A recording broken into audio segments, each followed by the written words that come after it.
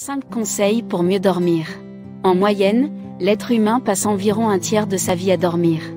L'importance du sommeil est indéniable, un sommeil de qualité est bon pour notre santé mentale et physique. Rien de mieux qu'une bonne nuit de sommeil pour améliorer la concentration, la mémoire et plus encore. Mais malheureusement parfois on peine à s'endormir.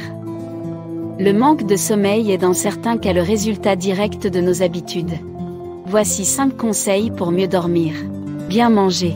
Avoir une alimentation variée augmente la qualité de notre sommeil, il est important de remplir son assiette de divers fruits et légumes pour mieux dormir. Éviter la lumière bleue.